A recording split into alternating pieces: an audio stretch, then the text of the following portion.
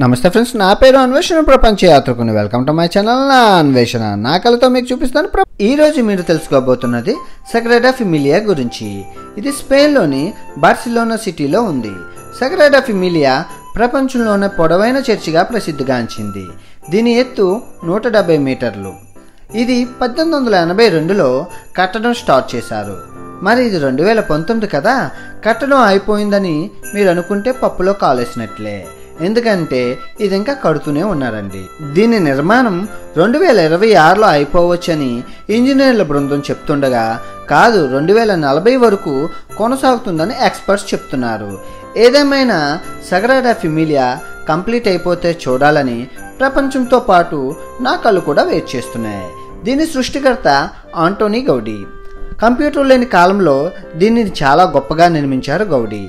నిజానికి పద్దెనిమిది వందల ఎనభై రెండులో జోసఫ్ అనే అతను ఇటలీలోని వాటికన్ సిటీని చూసి తన దేశమైన స్పెయిన్లో కూడా ఎలాంటి చర్చ్ ఒకటి కట్టాలని అనుకున్నాడు. నిర్మాణం స్టార్ట్ చేసిన వెంటనే కొన్ని కారణాల వల్ల దాని బరువు బాధ్యతలను గౌడీకి అప్పగించాల్సి వచ్చింది. గౌడి తన జీవితకాలాన్ని దీని నిర్మాణానికి అంకితమిచ్చారు. అతని లక్ష్యం ఒక కళాఖండాన్ని సృష్టించడం మాత్రమే. గౌడి దీనిని పొడవుగా నిర్మించడానికి గల కారణం సముద్రాన్ని అతను దూరం నుంచి చూడాలని మరియు సముద్రయానం చేసేవారికి ఇది లైట్ హౌస్గా ఉపయోగపడాలన్నది అతని కోరిక. అందుకోసం అతను చర్చ్ పైన రిఫ్లెక్టింగ్ గ్లాసెస్ని అతను అమర్చారు. సూర్యచంద్రుల నుంచి వచ్చే కాంతి రిఫ్లెక్టింగ్ అవుతుందని. దీనిలో మొత్తం పద్దెనిమిది టవర్లు ఉన్నాయి. పంతొమ్మిది వందల ఇరవై ఆరులో ఆంటనీ గౌడి మరణించారు. విచిత్రం ఏంటంటే బిల్డింగ్ ప్లాన్లు తీసుకుపోతున్న సమయంలో అతనికి ఎదురుగా వస్తున్న కారు ఢీకొట్టడం వల్ల చుట్టుపక్కల ప్రజలు అతనిని హాస్పిటల్లో జాయిన్ చేశారు.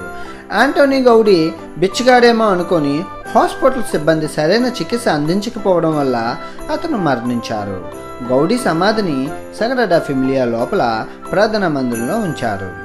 ఈ చర్చిని యునెస్కో ప్రత్యేక ప్రాంతంగా గుర్తించింది. మొదట్లో ప్రపంచమంతా దీన్ని ప్రపంచంలోనే ఇది ఒక వికారమైన భవనంలా ఉందనేవారు. ఎందుకంటే ఇది చూడటానికి ఒక పెద్ద చెట్టులాగా పాడుబడిపోయిన కోటలాగా దెయ్యాల దెబ్బలాగా ఉండటమే కారణం.